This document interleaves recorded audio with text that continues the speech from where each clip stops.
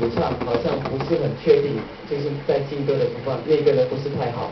你们开始的松掌一直是一个问题，然后唱歌的部分的那个音准和节奏也是一个问题。来，Ever，你们对于这个评审团的意见啊，还有一些这个看法，你们有没有想办法去改善呢？有啊，其实一路来对于评审的专业评语，我们都牢记在心，而且还回家各自抄写了一百遍呢。所以呢，我们会闭短扬长，希望大家可以拭目以待。